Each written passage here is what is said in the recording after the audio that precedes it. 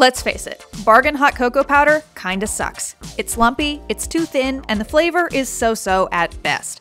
But no one wants to spend a fortune on expensive hipster hot cocoa mix, so we've put together the best science backed pro tips to get the most out of your cheap hot cocoa. The worst thing about hot cocoa mix is the lumps. You chase them around with your spoon to try and break them up, but they're harder to catch than a cat who's worked out that it's vet day.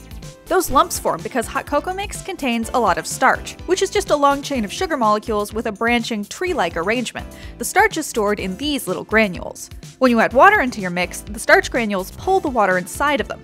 The water molecules are drawn into the branches of the starch molecules and start to puff them out. Those branches get pushed out so much that they start to mesh together, forming a seal around the dry middle of the undissolved mix. This leads to the infamous hot cocoa powder lump.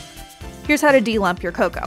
Add just a little bit of your liquid into the mix first. Stir it together to form a paste. This makes it easier to break up lumps because they can't float away on you. So you can fill your mug up and have lump free, delicious cocoa.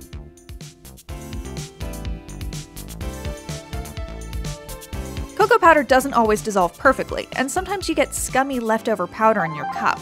That's because it contains stuff other than just starch, like naturally occurring fats.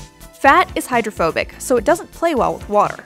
Convincing the two to get along together generally requires some kind of emulsifier, a chemical compound that interacts with both hydrophilic and hydrophobic molecules. Casein, a protein found in milk, does just this. If you buy 1%, 2%, or whole milk, it's already emulsified, so the milk fat is mixed nicely in the water. This makes it a great solvent for the starches and the fats in chocolate. Some cocoa mixes contain a bit of dry milk or dairy already to help them dissolve. Some people find hot cocoa mix unsatisfyingly thin. If you want a thicker beverage, the answer is more starch, but this time it's on our side. Cornstarch works as a great thickening agent because starch granules trap water and make it flow less easily, meaning the whole mixture is thicker. And as they heat up, some swell until they burst. Now, starch molecules are trailing all over the place, sticking to water everywhere they go. The cornstarch needs to get fairly hot to really make this process work, somewhere just south of boiling to get the starch to thicken. If you're going to go this route, we suggest adding a bit of cornstarch in with your hot cocoa mix. Our go to hot chocolate expert suggested an even simpler shortcut just use extra cocoa mix, which still has starch in it, and pop it in the microwave. So here's our recommendation for great hot cocoa made from the cheap stuff. First, use non skim milk, not water.